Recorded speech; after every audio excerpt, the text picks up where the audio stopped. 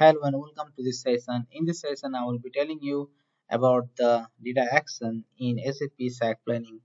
So this tutorial is mainly will be covering the features and options available in data action and also I'll be going through some of the details in uh, SAC Planning about these uh, steps like copy step and cross model step and allocation and embedded and currency conversion and also this advanced formula step. You can see on the system that you know in the menu bar now if you can suppose i have opened a planning model here. So this is my one test planning model. And here if you want to make a planning step so then you can create on a copy button here. You can see it is showing nicely here the copy step and you can write the name of the step and its description and then you have to type the filter. Filter as you know that filter is used what data the logic will be applied to. Similarly aggregation if you want to aggregate based on some dimension you can do that. You can choose the copy rule. Suppose you are copying data from 2023 to 2024 so you can copy you can write that uh, rule set the rule in copy rule. And you have option called override or append. You can also do that. Next it is nicely you can add other features. Like let me just do that uh, if we just do like this and it will keeps on adding all the process one by one. You can also use this undo button so it will go back. Also you can just click on the any step and you can press on the delete button so that also delete one step. Next coming to this uh, cross model copy. Cross model copy actually it copies from one model to another model. And your target model is always the model that you are working on. And source model will be some other planning model.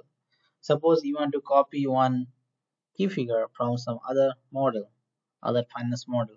Then you can copy that particular uh, data into your model. Next coming to this allocation step. Allocation step is very important. Uh, before running this allocation step you need to create the allocation step separately. Like if you need to go there and you have option called allocation and there you have to create the allocation step like uh, based on uh, what logic you know your data will be distributed. So that logic you have to mention there. Then you'll set that step here and uh, like here you can you can get a message like data action step was created would you like to use existing allocation instead? If you use existing then you click here and if you want to create a new one you can also have a options to do this uh, right from in this uh, section as well. So you have a allocation rule. So here you need to define what is your the source dimension target dimension and so on. So next coming to this uh, embed data action step. So here uh, mainly uh, data action meaning that uh, you can embed some other data action from suppose you have multiple data action created for some reuse purpose so you can use any of the data action already created in this step next is the currency conversion. So it is currently disabled because in my planning model i don't have any currency related uh, information. So that's why it is disabled. But this step is used. Suppose from a particular measure you want to convert the data into some other currencies. So in that cases you can use this currency conversion and you need to define all the setting like currency conversion table and so on next coming to this one add advanced formula step. So here these are the our pre-built feature as you can see that. And now this is the formula step. Suppose you want to define any formula and which does not cover by the standard feature. So you can write the script and also you can do uh, the visual uh, graphical view as well.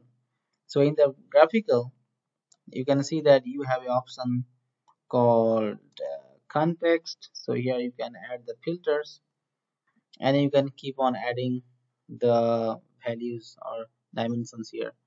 But if you're coming to the script so if you don't want to do in the visual then you can completely write your code and scripting here in the script. You can write the formula uh, about uh, how the data will be made so this is mainly the session for introduction to data action and in the coming uh, sessions I will be covering more in detail like how to make a copy step, cross model step and so on. So thank you. I hope uh, you have understood the basic of it.